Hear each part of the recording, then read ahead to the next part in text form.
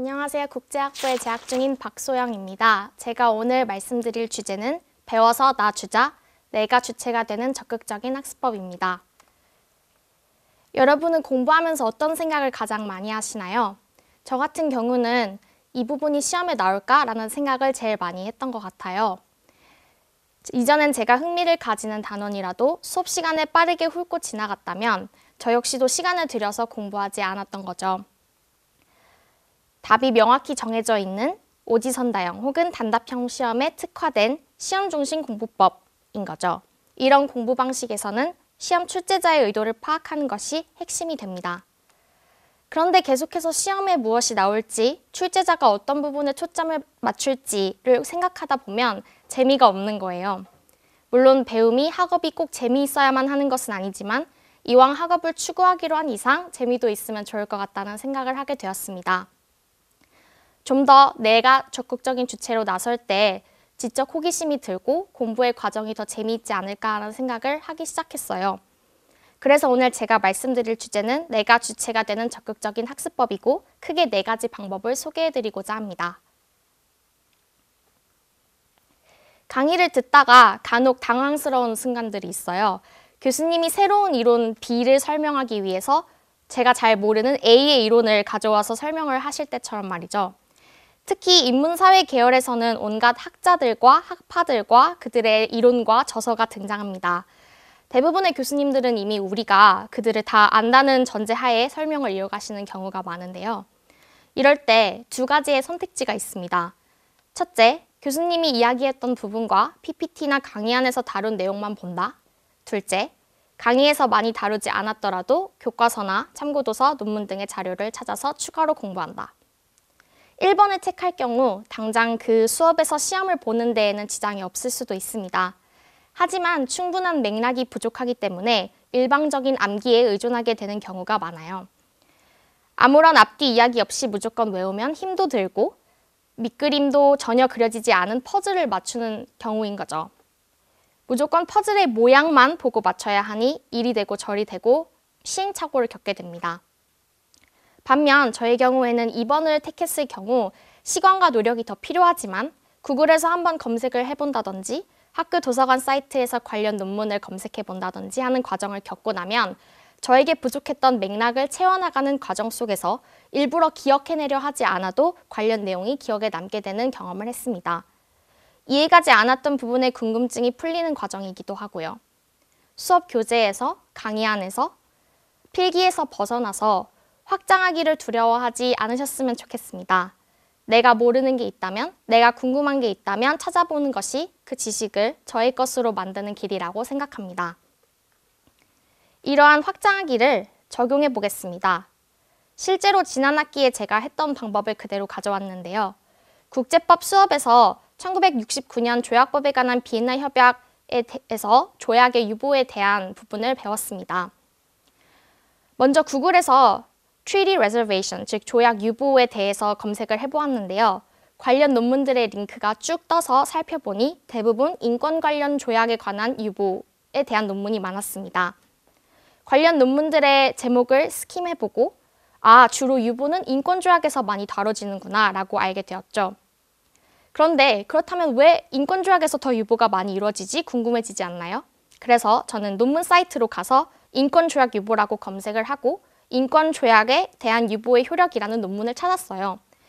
이 논문을 다 읽지는 않더라도 어, 초록 정도만 읽는다 하더라도 어떤 부분이 논쟁적인지를 파악할 수 있게 되었어요.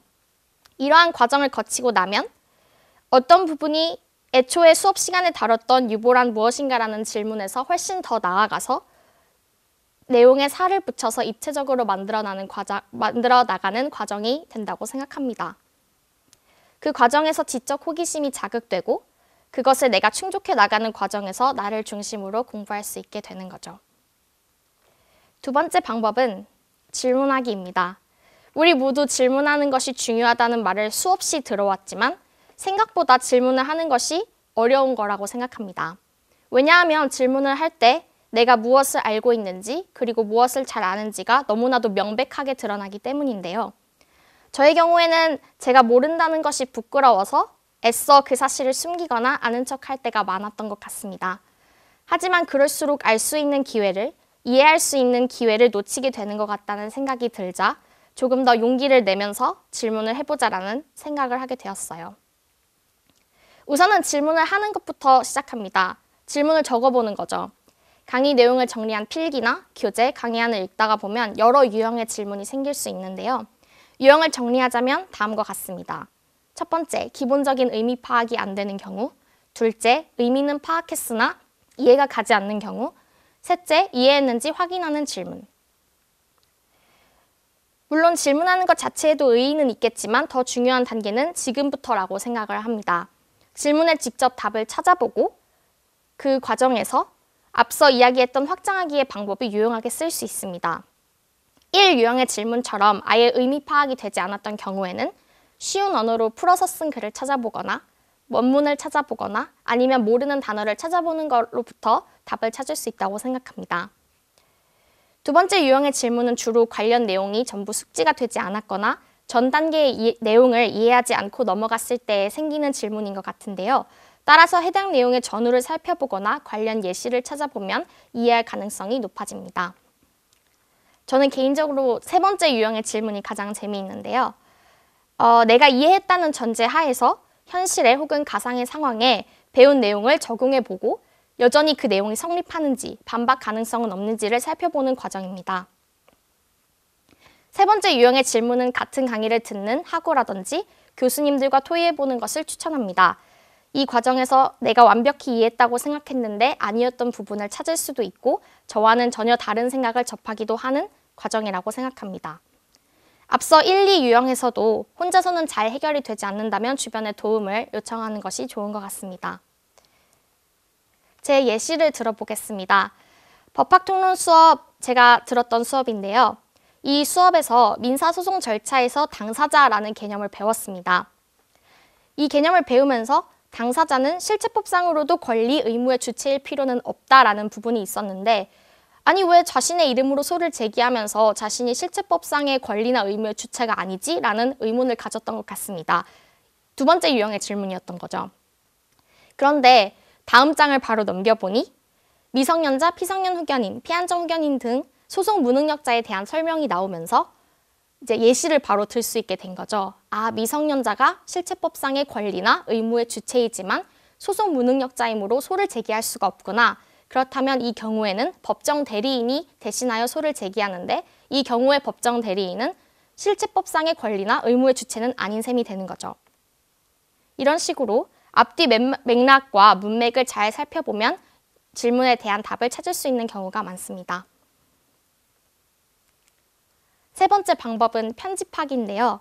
확장하고 질문하면서 지식을 습득하고 사고하는 과정을 거쳤다면 그 다음엔 그 알맹이들을 어떻게 정리하고 편집할 것인가의 문제가 남아있다고 생각합니다. 잘 기억하고 필요할 때마다 제대로 꺼내서 쓰기 위함이죠. 아무리 많이 보고 많이 생각하고 많이 질문했다 하더라도 그게 정리가 되지 않으면 머릿속에서 뒤죽박죽 얽히더라고요. 그래서 저는 제가 직접 한 수업 필기와 강의안 및 PPT 자료, 교과서 그리고 제가 추가로 조사했던 부분을 모두 모아서 새로운 필기로 만들었습니다. 저는 주로 워드 파일의 글머리표 기능을 사용해서 상위 하위 항목을 정리하는 편입니다. 우선 강의 내용의 우선 강의 내용의 각 파트별로 선후 관계를 정리하고 왜 그러한 선후 관계가 있는지 어떠한 논리적인 전개가 있는지를 파악하는데요. 예를 들면 어떤 이론 A의 단점을 보완하기 위해서 이론 B가 후대에 등장했다면 이 두 이론을 연결지어서 설명할 수 있겠죠. 또한 키워드 중심으로 나누고 하위 항목의 개념, 정의, 사례, 관련 이론 등을 정리하면 해당 키워드만 제시되었을 때에도 관련 내용이 항목별로 기억이 날 수 있게 됩니다. 이렇게 한번 정리를 해두면 따로 외우려고 하지 않아도 머릿속에 어느 정도 남아있는 것 같습니다. 제 의견을 서술해야 하는 서술형 답안 작성에 있어서도 특히 주장을 뒷받침할 이론적인 배경을 쉽게 뽑아내는 데 유용했습니다. 마지막으로 아 그래서 이런 식으로 적용을 할 수 있고요. 그리고 마지막으로 한 학기 동안 듣는 혹은 여태까지 들었던 수업들을 각각 별개의 영역으로 생각하기보다는 연결 지점을 찾아보는 것도 적극적으로 공부할 수 있는 방법 중에 하나라고 생각합니다. 그다지 관련이 없어 보이는 수업도 맞닿아 있는 지점이 있을 수 있는 거죠.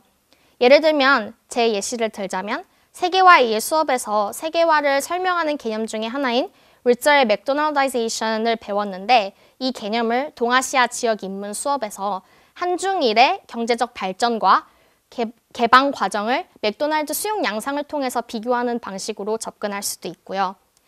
또 다른 예시를 들자면 국제경제법 수업에서 GATT 4조의 cinematographic film에 한해 스크린 쿼터 예외를 둘 수 있다는 조항이 있는데 이것이 당시 제2차 세계대전이라는 어떤 조약의 성립 배경과 국, 영화가 국가 홍보 수단이었으므로 국산 영화의 상영의 필요성이 있었기 때문이라는 배, 부분을 배우면서는 국제 커뮤니케이션에서 국가가 영화와 같은 매체를 통해서 아와 타를 구분하여 전쟁의 국민들을 동원하는 것과 연결 지을 수 있는 거죠. 다른 수업에서 배운 것을 이 수업에 적용하거나 활용할 수 없을까를 고민하다 보면 더 적극적으로 참여할 수 있는 동기부여가 되리라고 생각합니다. 저도 아직 모르는 것이 너무나 많고 부족해서 제가 말씀드린 것이 도움이 될지는 모르겠지만 각자가 전공이나 관심 분야가 다르듯이 학습 방법도 대- 굉장히 다양할 수 있다고 생각합니다.